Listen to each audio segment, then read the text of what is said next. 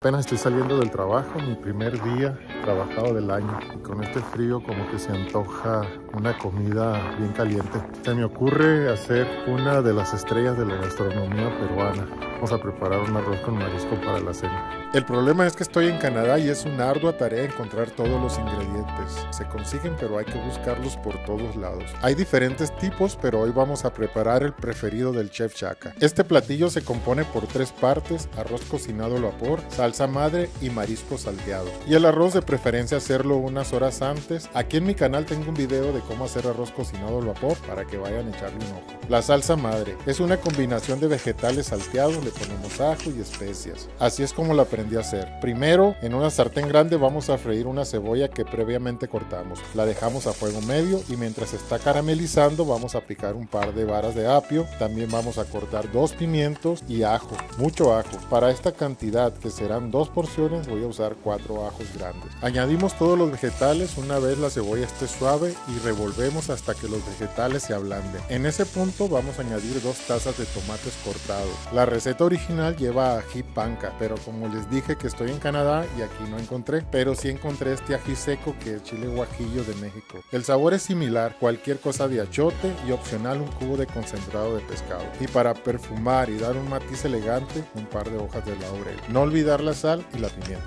Ya en este punto dejamos al fuego y revolviendo para evitar que la salsa se pegue en el fondo. Dejamos por 8 a 10 minutos hasta que los vegetales estén bien integrados y suaves. Y que se vean así. Dejamos enfriar y después a la licuadora. Molemos. Aunque queda bien molido, yo prefiero pasarlo por el colador para remover las fibras y evitarlas al momento de comer. Y bueno, ya casi terminamos. Ahora vamos con los mariscos. Aquí le puedes poner los que tengas, desde camarones, pulpo, calamar, pescado, almejas, mejillones, etc. Yo compré esta combinación de mariscos que trae un poco de todo. Pues ya tenemos el arroz, la salsa madre y los mariscos. Se me pasaba decirle que vamos a necesitar estos vegetales. Chícharos, pimiento asado cortado en tiras y hojas de cilantro fresco. Bueno, ahora sí ya vamos.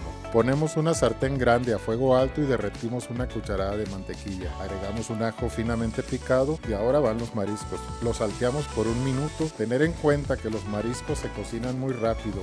Un shot de vino blanco, añadimos dos cucharadas de salsa madre y para darle jugosidad dos cucharadas de caldo de pescado y tres cucharadas de media crema. Rectificamos el sabor, movemos y movemos para que no se nos vaya a ahumar y por último añadimos un cuarto de taza de chícharos y el pimiento asado. Dejamos hasta el primer hervor y retiramos los mariscos para evitar que se sigan cocinando pues no queremos camarones chiclosos. En los jugos que quedaron en el sartén agregamos el arroz cocido y revolvemos. Si vemos que le falta más jugo, añadimos un poco más de caldo de pescado y si ven que le falta color, añadimos unas cucharadas más de salsa madre. Ya impregnado el arroz con los jugos, se vea cremoso y arrisotado, está en su punto y regresamos los mariscos que habíamos reservado y todo está perfecto para proceder a servir.